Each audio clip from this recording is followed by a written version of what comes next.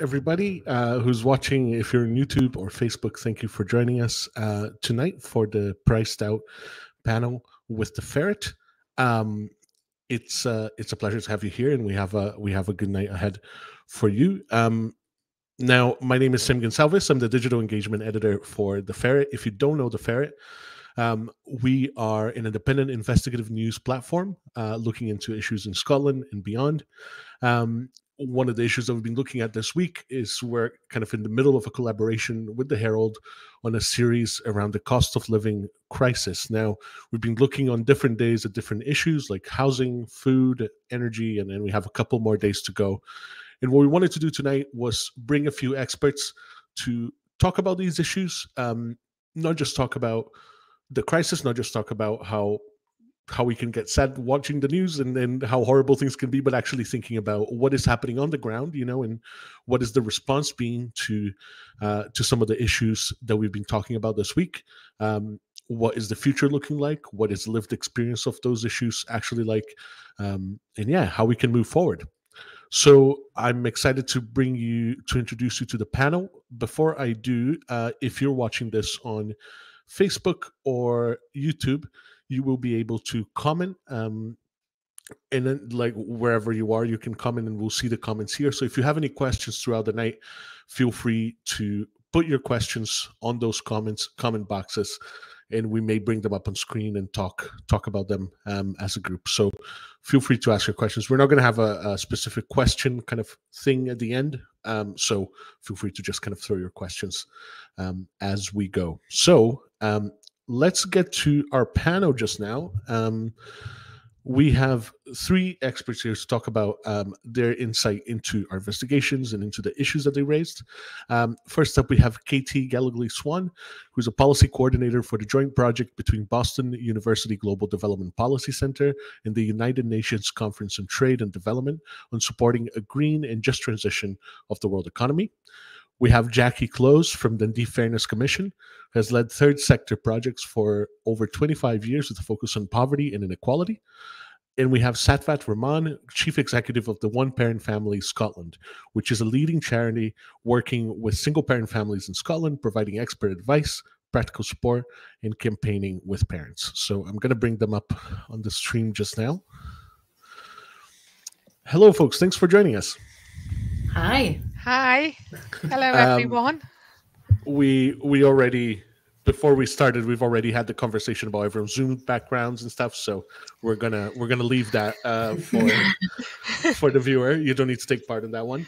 Um, so I guess I just want to start with a big general question: Is we've we've had these investigations over the last three days. We've had some revelations around housing, around food, around energy did anything stand out to you to any of you? Any any insights anything that it made you feel reading that or anything that you want to bring up before we start? Yeah.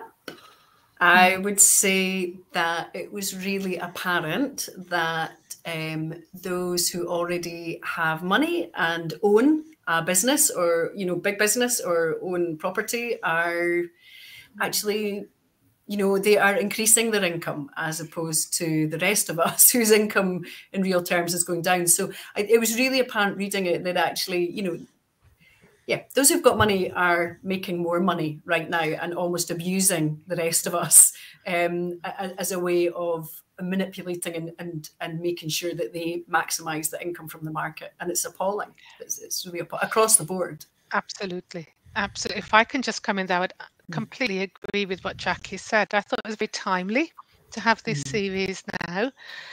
Um, it's sobering to read, um, and it really shows the need for action. But I think what's um, what's really important is to look what's behind it that this is not something that's come out of in the making and we know it mm-hmm. and it's for some of those reasons that Jacky's spoken about actually what we've got is a crisis of inequality mm-hmm.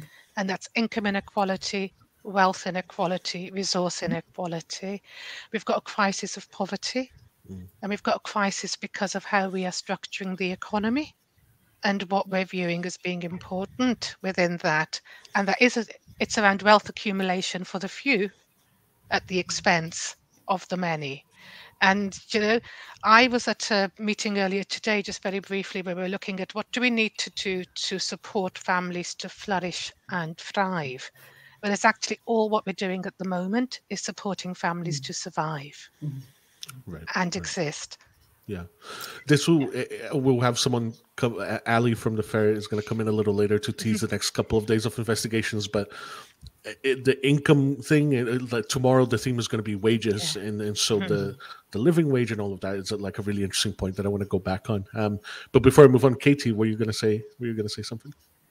I mean, I, I I would agree with what both Jacky and Satwat said. You know, the, the pandemic surfaced the persistent inequalities mm-hmm. of all sorts that pervade our society. And, you know, in response, advanced economies pumped more than $17 trillion, you know, into the into stimulus. Mm. And that did nothing really to change the dynamics of inequality in our society. You know, we have not done anything near what's necessary to attack these structural imbalances. And it amounts to an attack on working classes. You know, we, you can call mm-hmm. it any other thing, but that is what it is when billionaires in, in the year of the pandemic made increased their wealth by $3.9 trillion and working people lost earnings of $3.7 trillion. That's a, a wealth transfer to the wealthy people in society. And Scotland is no different. This is what this series shows, whether it's food or fuel mm-hmm. or housing, these profits are being rooted into as Jacky said, the already wealthy asset owners, while regular people are squeezed further and mm-hmm. further. Yeah. Well, let's go back a little bit on what you were t- what you were saying, Satwat, on the on the on the roots of all of this and and, mm-hmm. and where it comes from. Um, is it the case that, that that we're talking about this this cost of living crisis now because it's been a very eventful few years of pandemic, Brexit, mm-hmm. or was there something there before and we weren't seeing the roots, and now it's starting to show? I think equality, as um, Katie said, all what the pandemic did really was shine a light on mm. inequalities that have already been there. Um, I've been working for One Parent Family Scotland now for 11 years, and poverty has been a persistent mm. theme. Mm. in the work that we've been doing mm. and that's why i'm saying it's you know it's not new i just think it is it's intensified right what mm-hmm. we're seeing is an intensification of an experience, and mm. what we are seeing is um, destitution in a way and on levels we've not seen before. I mean, you know, the the article around housing and getting mm. people to bid, you know, mm. outbid each other for rents and things like that. Yeah. Mm. You know, it's shocking, but actually, as a result of a, the way we've structured our housing market, and the lack of investment in social mm. housing and mm-hmm. renewing social housing stock, you can see how there have been the structural causes for it. Can I just say, just, I just wanted to bring in the voices of some of the parents I'm working yeah, with, if that's absolutely. okay. And I've got a couple of quotes here, mm-hmm. which I just thought generally really sum, summed up where we are in terms of the cost of living crisis. And there's one parent who said, I feel I'm out there working for nothing Thank goodness for food parcels, which allow me more money for my gas and electric. I don't know how I will manage when it goes up in April. I'm worried mm-hmm. sick. Right, another one. I have already having to turn sometimes turn off the heating even when it's really cold to ensure we have enough electric to do until I next get paid.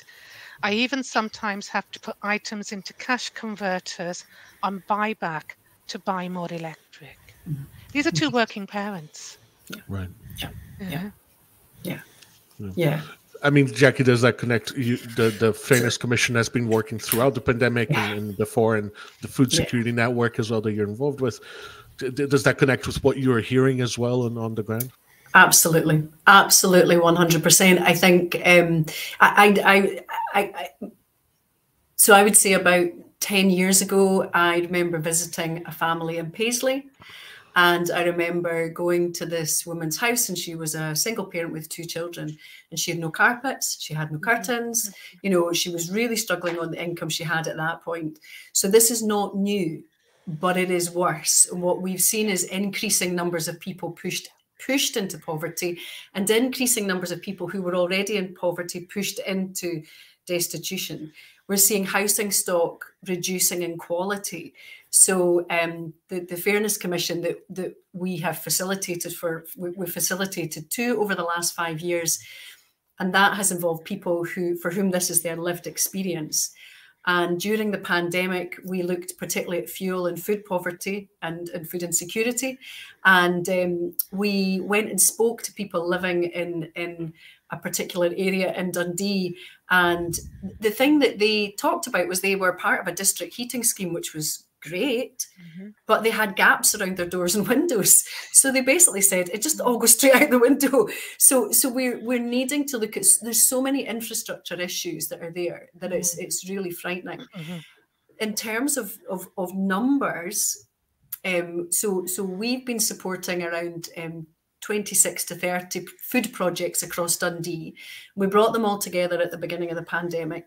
And at the worst point in the pandemic, there was about four and a half thousand people in Dundee alone, and we're a small city accessing emergency food.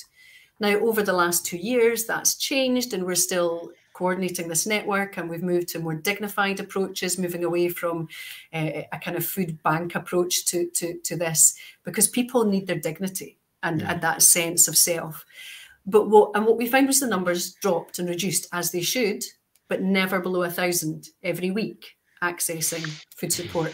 That's now gone back up. And we've seen a rapid increase in the last two to three months. And we're back up to two and a half thousand, reaching three thousand a week. And that's that's that's before we hit the first of April. So there's real concern about what's coming next for families, for individual, for older people, for single people. It's it's really concerning. Yeah, yeah, um, yeah, Katie. Sure. Um, you know, I'm going to be the person uh, this evening that I think persistently tries to point outwards from Scotland as well. You know, because mm. I think mm-hmm. um, what we're what working people are experiencing in Scotland is being replicated in, in different parts of the world right now. And so to understand the inflationary pressures that are pushing up all these prices and, and making people's lives harder to afford, I think we also need to, to be looking beyond our borders and all. And, you know, mm. when we talk about roots of, of the crises and, the, you know, the events that have been happening, you know, I think that we misdiagnose you know these events if we don't understand them as having interconnected roots you know whether we're talking about you know prolonging the pandemic the fact that we're still in the pandemic right now as much as some people would like to mm-hmm. believe otherwise you know more than 10,000 people are still dying every day from the pandemic mm-hmm. globally mm-hmm. which is more than at the beginning of of uh, 20 2020 is it now? God, I've lost that. Yep. Whether we're talking about you know the rise of the far right, whether we're talking about the advance of mm-hmm. climate change, and whether we're talking about the war in Ukraine, you know, mm. each of these crises can be connected to the imbalance and abuse of power, and each of them are connected to these inflationary pressures. So this isn't to say, oh, it's all, all structural, because we need accountability mm. for the few people who are responsible right. for these crises. But unless we see and connect these systemic linkages, we're going to have no hope of overcoming them. Mm-hmm. It, it's interesting about the story that gets told around uh, the cost of living crisis or other thing or the pandemic or whatever. Um, earlier today, one of the Ferret reporters, Paul Dobson, was doing a, a, live with the Herald, and he mentioned some some voices that were that were starting to say, is it connected is the, the, the kind of cost of living increase connected to ukraine and eh, you know and is that connected to the russia ukraine conflict and maybe we just need to make some sacrifices now because it's a difficult time in history you know or whatever so it, eh, there is a there's an element of storytelling that happens i suppose of where the roots mm. are and and who is mm. responsible and who isn't does that make mm-hmm. sense just just to quickly come back on that you know yeah. it's it's a common adage to say you know never let a good crisis go to waste. But that goes for all sides of the political right. spectrum. So of course, people like Nigel Farage are out saying we need to go for more oil, and of course, mm-hmm. people are saying we need to invest more in weapons. None of these things take people out of poverty. I'm mm. sorry. None of mm. these things take people out of poverty. So rooting more money into the profiteering hands mm. of oil mm-hmm. companies or weapons companies, mm-hmm. that's not going to help people's living standards increase.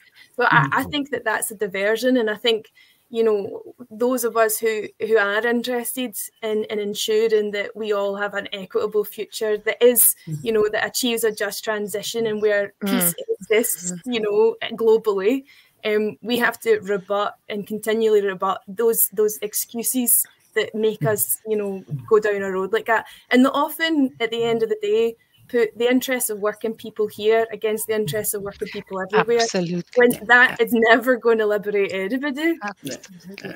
Yeah. I also though think it's very easy to sit back and say, do we just need to, you know, accept these hardships when you're actually not experiencing yeah. those hardships? Do you know? Yeah. Um and so, you know, and I think that is one of the things that is key to this whole conversation is that it isn't about them and us mm-hmm. you know and actually we can come on to talk about that later in terms of what we can do and how we can report on it etc in a way that stops it being that but you know it's the fact that the ons did something yesterday which i I didn't click on the first tweet, which was all about how are you faring compared to others or something, depending on where you're living. Mm-hmm. And I thought, oh no, thank you, I don't want to do that. But I started scrolling through through their Twitter thread to see what else were there, and there was some there were some excellent graphs in there. I mean, very depressing, but excellent in terms of this is coming from the ONS. You know, I can say this is coming from OPFS, and that doesn't necessarily carry the same weight wow. as mm-hmm. saying it comes from someone who's, you know, and they were saying people they were talking about who who lacked a financial buffer to sustain overspends as a result of some of the things that are coming the way, our way. And it was single adults and mm-hmm. single mm-hmm. parents yeah. who right. lack, you know, the buffer to sustain mm. their overspend. They also asked about um, rates of poverty Mm. And if I just look at parents, for example, they spoke in terms of income poverty, spending poverty, and financial wealth poverty. They looked right. at each of those individually and then combined the three. And in terms of households with children, for example, 31% of lone parent households with children were in poverty in all three of those categories. Right. right compared with 13% of households that were couple households with children. Mm-hmm. So there is something here also about how we structure our society mm-hmm. and what we expect the family unit to be. Right. Right. And therefore, yeah. that taking some of the sort of burden, because there was also a report, I think it was yesterday by Child Poverty Action Group, which looked at the cost of raising a child mm. and how right. it's increasing over time. Right. And again, there you see that um, in a couple family, the cost of raising a child over the lifetime of that child, including childcare cost, is 160,000. Mm. A single parent family, it's 190,000. Right. So you're seeing families who mm. are at the greatest risk of poverty mm. and inequality in all ways, who are now being hardest hit by this crisis that we're seeing coming because there are no buffers there. Yeah. yeah. Yeah. So I don't think we can accept people saying, "Oh, this is just one of those consequences of global yes. structural changes and inequalities." I think we yeah. need to look to see what we can do about it. Absolutely. I, I mean, it, will be interesting to hear from your perspective as well, Jacky, because it's. Uh, not only were you working with the Fairness Commission before, you know, when you, before pandemic or before the Russian invasion of Ukraine or before any of these things that could be used as excuses, but you also um, you know, there's an element there of Dundee being in a tough spot in terms of food mm-hmm. poverty, in terms of mm-hmm. other kind of key key issues being faced by by people who live in the city. Um, we know each other. I lived in Dundee for, for many years, and how how does this conversation resonate with you around causes and around what was already there and what's been mm-hmm. exacerbated and all of that? Yeah. I mean, I would say that, I mean, that there's, I think what I'm seeing is, as I said before, is the, is the number of people who are now facing poverty and, and, and inequality in a way that, that was not there before. But I think the, the biggest issue uh, for me, just kind of reflecting back on, on what Katie and Satwat have said, is actually where does the power lie? And I, for, for me, the power lies with the big businesses. Who holds the money in the world? It's the big businesses. They hold the money and they have more control over what happens than we think they do. Hmm. Um, and so, if the big businesses who are still mopping up and, and making billions and billions of dollars every year, despite all of these challenges, are the ones that are then quietly or not so quietly controlling various governments or or quietly you know making sure that governments understand that, that more finance is coming their way if they uh, favor them in in different ways um, around tax or around uh, allowing them to get away with the way that they uh, pay their staff. I mean, the bottom line, what we need is we need better income. So, although the cost of living is increasing, it's increasing for all of us, but what we're seeing is that uh, the income is not increasing at the same rate. In fact, income, even in in in uh, real terms, even if somebody's income goes up, it's not going up at the same rate as the cost of living. Right. So what we're seeing in Dundee is um, an increasing number of people who are either um, on benefits or working on on low incomes, and in real terms, they are losing far more than the rest of us. So, you know, if we're, you know, I'm in full time work, as is my husband, we're in a position where we are seeing chunks of our money, you know, a big chunk of, of, of our money disappearing because of the rising cost. But it's not proportionate. It's not proportionate to those who are on lower incomes because they're facing the same rise, but their incomes are so much lower and they don't have, as, as Satwat said, they do not have those resources mm. around them people don't have savings. They don't have family who can bail them out or help them. And they don't have the option of increasing their hours or moving to another job or going to a job that's better paid or moving up.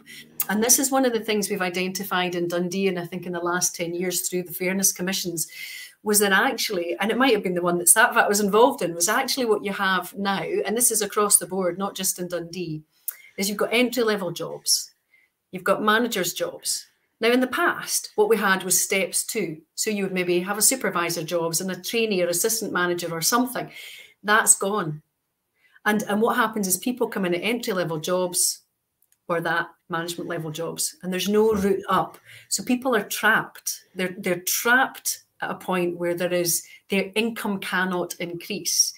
Um, yeah. So what I would say is is the Scottish government through Social Security Scotland have tried to mitigate some of that um, by increasing the number of benefits they have um, available for families. Um, but single single individuals, Satwat was mentioning, single adults living on their own, no, there's there's there's just nothing. Mm. These are the people that I'm seeing moving towards destitution, um, and it's it's really quite concerning. Yeah, I want to bring you started by by talking about the people responsible, or where where does where do we put guilt, or where do we put kind of responsibility for that? I want to bring that question uh, to you, Katie and Satwat. Who, who are the villains here? Who are who are the bad guys in these stories? Is there who would you point to? I mean, I would agree with what Jacky's saying. You know, of the ultimately they're they're there's a very clear trade-off being made here, right? Um, there's a prioritization of profits over public interests, but these private interests have their enablers, and I think we have to think about responsibility at different tiers and, and connect them. There's cronyism at every level of governance, and Scotland is is not excused from that. So there is the local and national responsibility of those who would, you know, prefer to have more regressive approaches to to recovering from the pandemic. And as an example, I think that the the, the economic transformation strategy that was released last week is an example of a race to the bottom, chasing foreign investor strategy, which is not going to deliver for Scottish workers. And this idea that entrepreneurship is going to save us all and help us all pull ourselves up by our bootstraps, that doesn't work.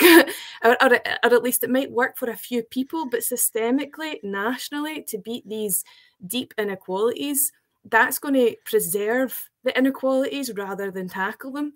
And then I think, you know, there is the Conservatives at the UK level. We we have to acknowledge that the monetary power is is with the with at the UK level. It's not a devolved thing, as is foreign policy. And so the fact that the Bank of England is is raising interest rates, of course, that is going to bring with it, you know, as in an attempt to uh, to to to tackle inflation, that is going to emphasize these cost of living issues and it's fundamentally an attack on the poor.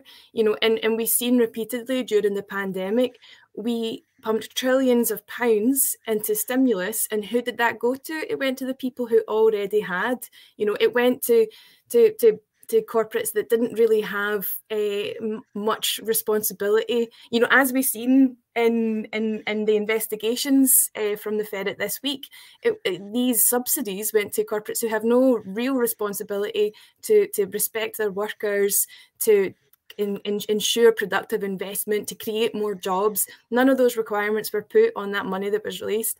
But then I think we also need to connect that to a, a global economic architecture. And I'll, I'll, probably continue to beat this drum because it's a global economic architecture that incentivizes that sort of policy making. And so the power of states, you know, at the end of the day, to be able to govern in the interests of your public, it is constrained by the fact that, you know, since you know the 80s since the thatcher and reagan era we have seen the power of global finance increase and the power of state to regulate in the interests of the public decrease which does mean that there are threats to states to be able to take the, the measures that they need to, to be able to sort of ensure and, and that, that everybody can have a job, have prosperity. That's not to let anybody off the hook. I'm just saying that there is an interconnected system here. And, and unless we see it in this more globally connected way, then then we won't be able to frame or understand the you know the, the the failures of the Scottish government or the failures of the the UK government. Absolutely. And if I can just come in on the back of that, I think it, even sort of like um, sort of like the bigger contest tech text is actually what we have is an economic system where inequality isn't a byproduct, it's central to it. Do you know, it's the way it operates. It's part of the raison d'etre of it. And so what we are, we are going to see inequality until we begin to have those bigger conversations that Katie's spoken about. But in terms of some of the things that are causing this particular crisis, I agree completely with Jacky and Kate, Katie that we need to be doing more to hold um, employers, corporations, etc., to account in mm. terms of the the pay and the conditions of staff and the lack and and you know even even where a progression route might exist, there is no mm. investment in individuals. Do you know, right. there is no investment in the workforce to do that. And I'm hoping the fact that there are so many crises in um, recruitment happening across various sectors should also be something that we see as an opportunity to be able to look to see how do we restructure some of these jobs and mm-hmm. actually, you know, some of what I've been hearing is that employers who are paying the real living wage as a minimum aren't having the same difficulties recruiting people. Right. Employers who are valuing their workforce aren't having the same difficulties retaining people. There are, you know, so in some ways it's an opportunity for us to look yep. to see how can we use this to reshape things in terms of um, employment? I wish I could say that we would have the same opportunity in how we can use it to shape things around social security that's reserved. You know, and get them to operate universal credit by the rate of inflation, at least, not by what they're proposing at the moment. To have, you know, not taken away the £20 uplift that was there for families. Some of the small measures that would have helped families be able yeah. to navigate this crisis have been taken away for the you know for the reserve social security system we have and whilst we can all do what we can to mitigate it's not the same we're not going to be able to replace that so i think that's an additional challenge sure. that we need to look at yeah, that's that's a really good point to to mm-hmm. touch on. I I, I want to get to the part of the evening where we start bringing the nose of the plane up into to, to some yes. degree. Um, it's very easy to just get on the like, oh my god, everything is mm-hmm. horrible. Like, but but what are the kind of conversations uh, that that are are happening right now about how we engage with this and how we respond to this? Before I, before we get into that, just just a comment from Gordon. I'll see if I can put it on screen um, that he put on the chat.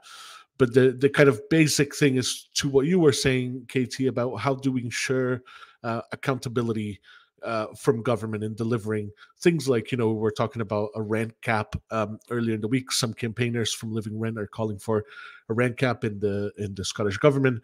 The Green Coalition has kind of promised to do that, you know, in by 2025, I believe.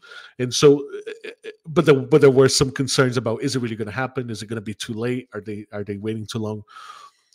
Uh, to Gordon's question, how do we ensure that we're keeping uh, policymakers to account? Um, how how can community kind of community drives, community campaigns ensure that if there is this kind of private interest also there that's like just as strong and does anyone want to respond to that I, I would I think for for me um, mm-hmm. the most important thing is to make sure that the voices of those for whom this is happening to them are at the heart of this. So um, that that's at the heart of what, what we do. But in the, in the midst of the pandemic in 2020, the Scottish Government actually did do quite a lot of reaching out and listening to people for whom this was impacting the most. And what that did was allowed those people to feel like they had some kind of voice and some kind of agency in this, rather than feeling like everything is done to them, that mm. they had some way to express what was happening and express solutions. Um, mm. Because actually, the people who have the solutions are those who are living in it. And I think what I would love to see is a way that the, the, the policy makers in a real way, and I don't mean, you know, it can be tokenistic and tick box, but actually in a real way, engage with people for whom this is their lived experience, you know, whether that's um, uh, single parent families, whether that's um, individual adults, if they're the ones that are being hit the hardest, people with disabilities, you know, pensioners, let's get them round the table and not just in a one off, but actually sitting with the policymakers in a real, meaningful way. Some of that we've managed to do in Dundee, some of that we've managed to do with the council, and some of that has allowed um, things to be slightly different and allowed resources to be focused in a way that was better for people in Dundee. But it takes a bit of it's long term, it can't be single one off. But I think that can begin to help policymakers really understand where those resources need to go and how they need to be delivered just to come in on that, I mean, I I agree, um, but I also am sick to the back teeth of hearing Scottish government doing a consultation, Scottish government doing a listening exercise, Scottish government like when is I honestly think that it is being used as a cover for inaction and as a way to neutralise people who should be able to organise against um, government inaction and so I, I, I 100% agree, Jacky. I think that there's issues with centralisation in policy making, but I do think that there's a lot of highfalutin rhetoric around engagement and participation and consultation that goes absolutely nowhere. And I and I, I think it's I think it's terrible. I think it's disgusting because it exploits local people. Mm -hmm. It exploits people in their time, uses up their valuable time just to like suck it into into a useless process that often doesn't lead anywhere and, and so I, I I want to see more accountability for these, these Absolutely. processes. I want to mm-hmm. see the direct delivery from the engagement with communities and, and, and, effective people and the policy outcomes. I don't want people to be neutralised. I think that you know the the the living rents organising and unions organising has been so inspiring because it's been public and it's been shaming this sort of soft, cuddling Scottish government position, and I think that that's really what's necessary. I would. I was, I was just going to say just following on from that, that in terms of accountability, I think we've got it wrong into, you know, because I mean, I would see the the work Jacky's speaking about being where we go to be held accountable for what we are and aren't doing in terms mm. of actually you've said x y and z it's made absolutely no difference to my life whatsoever and this is why not.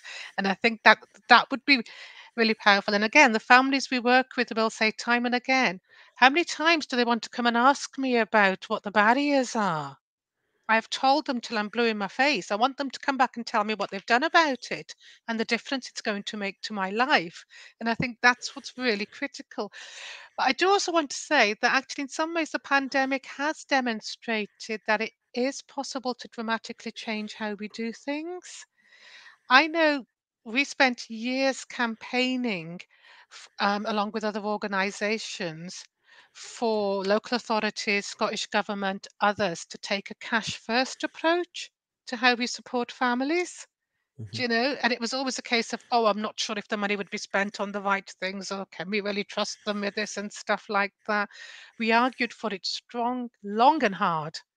And actually, in the pandemic, what we saw was cash going to families, not enough, not for it to be consistent and make a long, dif- long-term difference, but it changed people's mindsets, those with authority and those with power Do you know, because I don't know if any of you remember near the start, I think it was during the first lockdown when we were looking to see campaigning for there to be something in place of the free school meals family, children had lost as a result. Mm. And you saw all this thing about, well, parents can come and queue and pick up their packed lunches. You know, this is when we're all in lockdown mind. Remember, not meant to leave the house apart from once a day or whatever. And actually, that shifted to a cash first approach, which also has key to it things like dignity mm. and respect and giving people the opportunity to make the same choices of what food they will buy for their family, the same as we would in mm-hmm. terms of what we want to eat.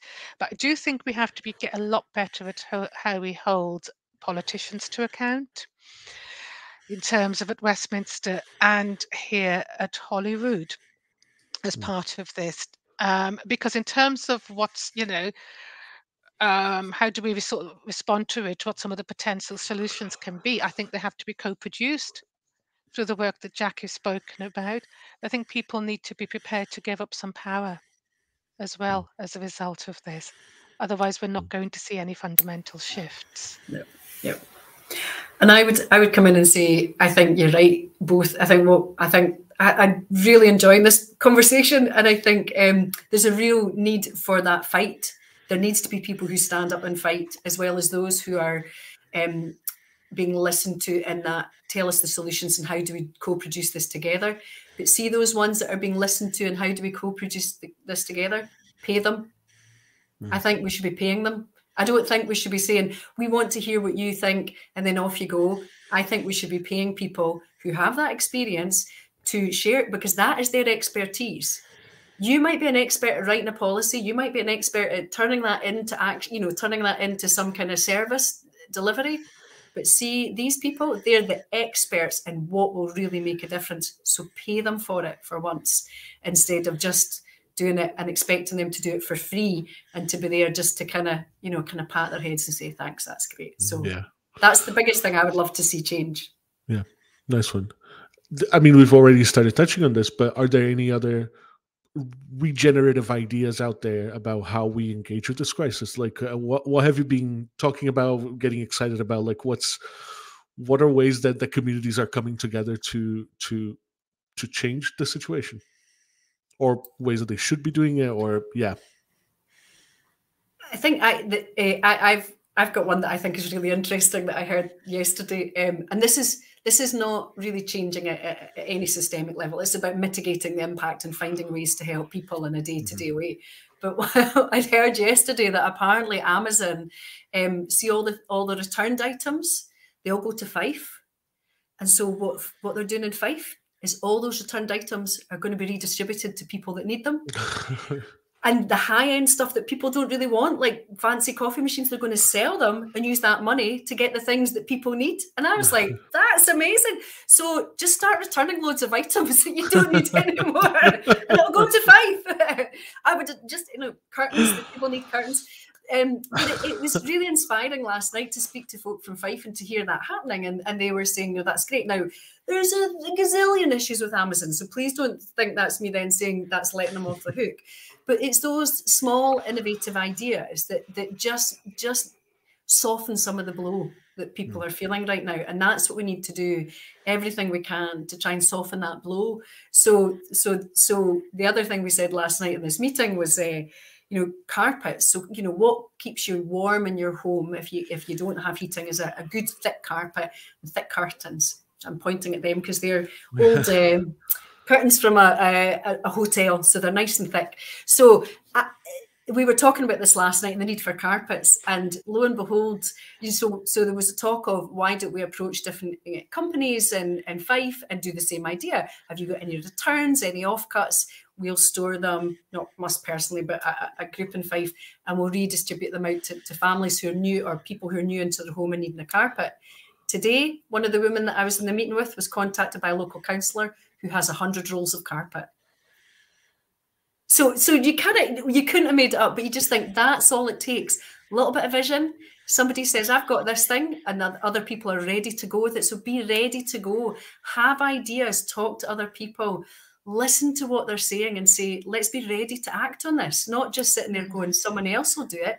That's a simple thing, but it will make a difference to, to, to lots of people who really need it.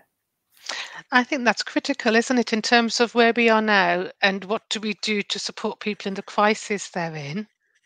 You know, it's, I think that those sort of like community responses, you can't plan for those. You know, it's no point me sitting there and writing a plan to say this is how the community is going to respond and this is going to go. They're organic. They're, you know, they're grassroots actions. And I think grassroots action is so important when we're looking at some of the responses to this and how, how that, that can then come in together into community action and mm. community activism because I think that's what's critical as well as part of this. Do you know, when um, I was talking about this with colleagues and when it came to the question, how do we respond to the crisis as, as individuals, I kept it here because one had just put with a little smiley face next to it, start a revolution. Because it, is that, and but you know what? Revolutions don't have start small. They can start local. It's all those things. It's mm-hmm. about um, empowerment, people feeling that they can make a change and a difference to their own lives. And then from that, moving on to how do we make some of that long term structural change so that we're not continually in this cycle and that people aren't having to live within the circumstances that we've got. And in between that, around mitigation, I always think it's about how do we, what can we do to increase income in families and in households? And what can we do to drive down household cost? And that's the critical bit of tonight's conversation, because that's what mm. the cost of living crisis is doing, is raising all those costs for people. And how can we do it simply? I mean, I thought the whole idea about um, free bus travel for under 22s was great, right? Could really help mm. reduce some household costs in families. But boy, was that one complicated, difficult application process to have to do. We're halfway through it, you realize that the ID documents were ones that you have to pay for, like a passport or a driver's license. Many of the families we work with wouldn't have those or have the means Mm. to get them. So what we need to do is when we are planning those types of things that are going to reduce costs, we're not building in blocks for those who are they are meant to be helping the most. Mm. You know, by putting together application processes which suit our systems, right. but don't suit families. Yeah. You know, I'm, I'm really uh, I'm impressed by the um, knowledge of Jacky and Satwat on these like more local um, uh, organising activities because yeah because i think it is you know building up that solid local solidarity is necessary. And then on the other end of the spectrum you know obviously we all aspire for a future where those sorts of adaptive and innovative you know actions are not necessary. And i, I think that with this current you know cost of living crisis I think that we need to kind of strap ourselves in for a wee bit because it's going to it's going to be a bit of a long ride. The um, the pandemic is is continuing. The just transition, you know, is is not currently just, and we're so far from you know mm. transitioning to a more uh, a, a, low carbon economy. And and these sorts of fluctuations in price and inflation are going to be coming for the for the foreseeable future really mm. especially as long as there's an unsynchronized approach to, to these sort of global global climate questions and i think that it's critical that we you know organize as quickly as possible to to to transform the response to this because at the moment you know raising interest rates triggering a recession that is class warfare that is an attack on poor people. And so and, and we need to to if we don't shift this response fairly quickly um, then we're in for quite a long ride of these attacks on the poor. And we will see a, a, rise in reactionism, a rise in conflict, a rise in instability, and it will be the marginalised people, you know, the working classes that that suffer so I think you know, and, and actually we did a in my work we did a, a our sort of a flagship report every year. Last year, our, our one big message was austerity and you know retracting investment is the biggest threat to the global economy right now. It's the biggest threat to global stability. So I, I, think that there's three basic things that we need to do rather than increasing interest rates. Number one is we need to stop spending on the stuff we don't need. That means demilitarizing. That means not invest, not giving consultancy fees in the millions to to sort of for for I don't know Boris Johnson to like fix Downing, decorate Downing Street. You know, we need to cut that unnecessary expenditure. We need to increase spending on the fundamentals, on our social safety nets, on our public services, on our care economy, on education. So we need to invest in all of these soft infrastructures that are necessary for us to sustain life. And then, but the third is that we need to we need to replumb the system. We need to tackle these power imbalances in our economic system. I think all of the articles that was released this this week by the Ferret, you know, you in each one you see the exploitation of capital screaming at after poor people and that we need to to definancialize our economy in Scotland and that that you know at the Scottish level at the UK level at the global level but we also do need to introduce price controls so that that profiteering isn't possible. And that is across rent controls, food price controls, and energy controls. These are all possible. They've all been done. And it is an act which prioritises the public. It prioritises marginalised people rather than, rather than profit making. Katie, I would vote for you. Please go into politics. I would vote for you. We need people like you in there who just really want to start the system up and know what you're talking about. Definitely, definitely. Um, I mean, just just to this final point that you were making, Katie, I think this might be a good time to bring on Ali, who uh, works at the Ferret. Let me put you on the screen here. Um, hello, Ali. Welcome. Um, Hi, everyone. So Ali's been kind of uh, being the editor, manager, person leading the kind of priced out investigation. Uh, it's been a really interesting process that actually I don't think people see enough of on the behind the scenes of uh, the all the journalists at the at the Ferret kind of working towards different themes and, and kind of looking at different data sets and, and working on on each team having a, uh, each day having a different theme. So it's a really kind of interesting package and. Um, I wanted to bring you in to tease a little bit of what's coming in the next couple of days, Ali, but also to ask the question of like what what was the process of of realizing that this is a thing that the Ferret should be engaging with? Like, what was the uh, what was the kind of the, the process of getting getting to the first stages of this? Yeah, well, firstly, I think a lot of the, the reasoning behind why we thought it was such an important thing has been excellently explained already in the last 45 minutes. Uh, but um, yeah, well, our the project we did uh, obviously a co uh, partnership with the Herald. Uh, it's our third uh, of, of these these um, sort of by like we do about four a year of these um, investigations, and the last two were who runs Scotland and how green is Scotland. So who runs Scotland was looking at um, who who owns various industries in Scotland, who's behind who you know the kind of the, the people behind the quangos and the people behind the various different uh, power brokers essentially in Scotland. And the second one was how green is Scotland? So how how does Scotland's like green credentials stack up, particularly around COP uh, 26? Um, and we thought, well, all these things are massively important and massively affecting people on the ground, uh, people in, in, Scotland and the UK, and how you know. So these things affect people's uh, rents, they affect people's energy bills, they affect uh, the food prices in shops, they affect uh, you know shop why shops are closing down, why the high street is uh, collapsing.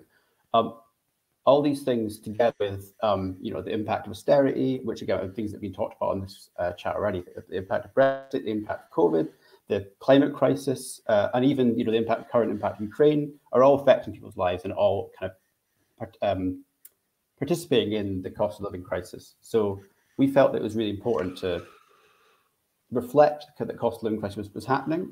Also, our readers, uh, we did a survey of our readers, uh, Sam, which uh, you led, which we had hundreds of responses, far more than we expected, of people describing how the cost of living was affecting them.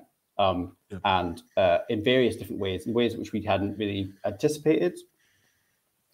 And so we felt like it was a a kind of perfect opportunity, a perfect like the best time to put together a kind of in-depth uh, investigation. So five days looking at uh, housing, farming, energy, wages, and business, uh, and how people are being affected by these things. But also a lot of the coverage around cost of living so far has been kind of sometimes we describe it as sort of like tragedy porn, where it's people, you know, it's, the, it's going, it's going and looking at people looking who are incredibly, you know, like you see sad people in front of newspapers, you see people, really extreme cases of people struggling.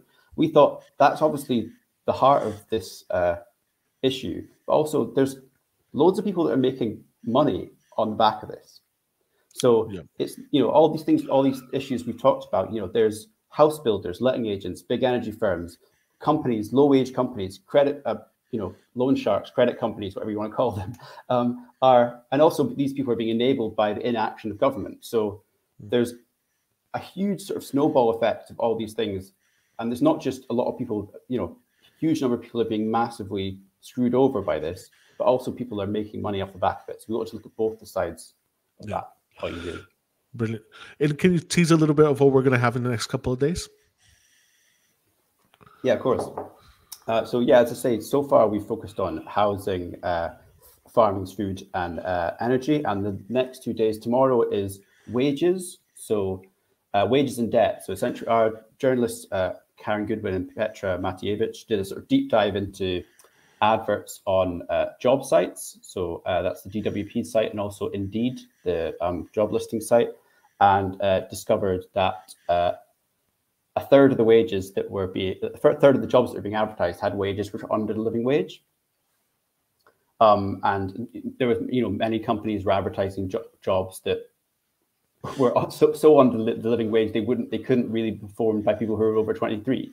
You know, because they were only for they're on wages that were so low that they were only for younger people, um, and also part-time uh, jobs that were part-time had an even higher proportion of them were under living wage. And we know that part-time jobs are um, disproportionately held by people, you know, for, for women who have other, other you know, um, caring responsibilities, by uh, uh, minorities, by people, you know, there's all sorts of things which kind of factor into this, um, which aren't being dealt with. And on uh, Friday, we're looking into uh, business. That's the high street and uh, small businesses that have been affected by the pandemic and the kind of high street and how that's been uh, sort of decimated.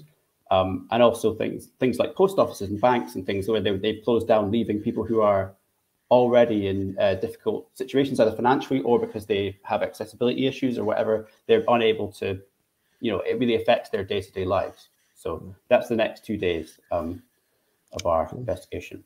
Yeah, there's some some in- interesting stuff coming up, and some quotes from people who may or may not be in the Zoom call, um, who are also featured featured in there. So, um, yeah, it'll be good to see. Now uh, we have five six minutes. I have this promise whenever do I, I do an online event that we always finish on the dot exactly on time that we promise to finish. Uh, so this is a vow that I've kept to myself. Um, in the last five to six minutes, the other thing I very much enjoy is keeping journalists and the media's feet to the fire and uh, holding holding them accountable for how we we tell these stories, for how we cover issues like the cost of living crisis, inequality, and so on. So I guess I just wanted to finish on the and, and I mean th- there's so much that we could have talked about tonight. So I encourage everyone watching to go and follow all the panelists on on social media and to kind of chase chase up their work because there's a lot more. But just to finish, any final thoughts on the coverage of the living cost crisis in the UK? How has it not been good? Um, in general, how could it be better? How, not specifically talking about the Ferret, but just talking about how we talk about it in the media in general. Um, what could the media be doing to to talk about this in a better way? Does anyone want to take that up? And Ali, feel free to take that up as well if you like. Uh, I don't mind just saying a couple of things, and then I'm Please. sure colleagues will have other things to say. Um, I think something what Jacky said was really important. There's a lot of research to show when you're talking about issues like this, about the disproportionate impact of the cost of living, um, the war on the poor, the war on you know, um, the working class. It helps to focus on the human impact, but in but in terms of shared values and experiences, not in terms of um, I call it poverty porn. I think Ali, you called it something else. Do you know, well, isn't this terrible? Isn't this shocking? And shouldn't we all be giving them a bit of charity type thing? No. And I think that's sort of being able to contextualize that and to look to see what some of the achievable solutions are is really important in terms of how we need to report on this. And we know, human stories have a much bigger impact than statistics, but the statistics are also really, really critically important. Um, but I do think the framing of these is something that we have to be so careful about in terms of when we're looking at these types of issues, because in in some sections of the mainstream media, it's framed as an issue which is disproportionately affecting poor people because they make poor choices. Do you know? And that's a narrative that has to be challenged an alternative narrative to that put forward that actually this is about a series of structural issues where what we've done is placed the biggest burden of the cost of living crisis on those who we have pushed into the lowest paid, most difficult types of circumstances and have had the safety net of social security taken away. Yeah. Yeah, I'd agree with that. I think um, the language that is used is often bl blaming. Um, so it's very subtle, but the way that they talk about people who for whom this is hitting the hardest, it's the way that it's it's it's written implies blame. It's their own fault if they'd made different choices, if they'd done it differently. Um, so Joseph Rowntree Foundation have done a huge piece of research around this in the last few years and around the language that is used. And um, if, if you want to look at that, go onto their website and they do talk. So you'll notice, I've noticed Satwat saying that about people being pushed, pushed into poverty because that shows that something else is pushing them driving them into it. It's not their own fault. It's not a choice. Um, and it's not foolish decision making. It's not wild living. It's not living outside their budget. In fact, I've never met people who can budget better. Um, and, and so, actually, language that is used in journalism is critical in how the blame is laid. And then that's critical how, and then how society we begin to think about how it should be addressed and responded to. Okay. Yeah, I mean, I, again, you know, we were all just agreeing with each other. Um, maybe we should have had a wee bit more conflict. I don't know. Um, but one one thing I would add is I think it, it can be incredibly frustrating to see uh, well rebutted economic myths be repeated by the mainstream media in order in, in a way that buttresses the arguments of austerity politics of more conservative economic policy making? So the sort of unquestioned acceptance of the Bank of England's, uh, you know, announcement on interest rates, or the unquestioned acceptance that oh, we're going to have to pay back this big bill from the pandemic. You know, a lot of these things that we that, that gets repeated in the media without much critical analysis of them or without catching up to where economics is now or any sort of heterodox economics. Um, and then the second thing I would say, you know, related to what Satwat and, and Jacky was saying is uh, one of the things that, that, you know, really fizzles my chips in coverage of this is this uh, expectation that poor people deserve the, the, the sheer minimum to be able to survive. You know, there was a reason that it's bread and roses you know we deserve to eat but we also deserve beautiful things and so this this absolute austerity of economics but austerity of life and of humanity as well you know i i, I want to like I, I wish you know we didn't have this totally race to the bottom of of how how how little you know working class people should have when really we we should be looking for you know a sustainable abundance for people a sustainable mm. you know beautiful art filled life for people whether they live in a scheme or not mm. that's great ali do you have anything to add uh, not a lot i think everyone's uh, I just agree with everyone to continue the agreeing that everyone's been doing. But I think uh, to an extent, sometimes the media reports on stuff like this uh, like it comes out of a clear blue sky. So it's like, oh, suddenly look, loads of people are struggling, or and they kind of dip in and then they dip out and then, you know, deal with it again when it becomes something that's more. Um, and I think Katie's right about the um, the idea that you know, there's people talk about the Overton window and this you know mainstream policy shifting, and I think the more that austerity became a sort of became a sort of standardized position of a lot of the media. It was like, oh, we're in, a, we're in austerity, everyone's gonna have to tighten their belts, and so you get into a situation where, yeah, it, it, we, we do end up talking about these these like ludicrously low minimums of of standards of living, rather than talking about it more as like, okay, everybody in this, and it sounds really glib to say, but everyone in society should have a fulfilled life in all, all sorts of ways. So it's like, for example, things like um, arts tuition and uh, music and things is the first thing to get cut and the last thing to get brought back. We've written about that in the past um, a fair few times. Um, and you know things like local libraries and all this. There's you know the things that constantly uh, are talked about, but these are part. These are kind of parts of making people have a rich, fulfilling life that everybody deserves, and it's not some sort of added extra that's you know that, that is uh, just added on. But when, if you've got time and if you've got the inclination, right, right. Absolutely. Well, thank you so much, everyone, for your contributions. Um, I want to remind everybody that you can read all of the investigations of this series on the uh, Ferret website that you can see here. Uh, let me bring that up. Um, you can, we have in uh, both both part of the series, which you can find collected together in a box, but also lots of other investigations and the work of the ferret in general. Um, you might want to go have a look at that uh, at theferret.scot. Um, bring that back. Um, and yeah, social media, all of the things we we're going to keep on this topic over the next couple of days, but there will also be follow ups and newsletters and all sorts of content that you don't want to miss as we go. Um, I've learned today that I I want to use the phrase "fizzle my chips" more often. I will I will practice it in the mirror. Um, but it's been a pleasure to talk to all of you folks. I learned a lot from from this conversation, and yeah, hopefully we can do a follow up at some point in the near future. Thanks for everyone for watching, and have a good night. Thank you. Bye. Thank you. Good night. Yeah. Thank you.